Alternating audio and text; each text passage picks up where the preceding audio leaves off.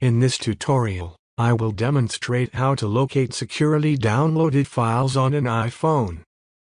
Begin by accessing the Settings application on your iPhone and scrolling down until you locate the Safari option. Tap on Safari, followed by the Downloads section.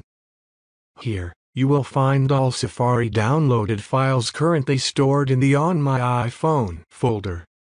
Next, open the Files application and tap on the arrow icon. This will direct you to the location where all Safari downloaded files are stored. To ensure easy access, select the On My iPhone option and navigate to the Downloads folder.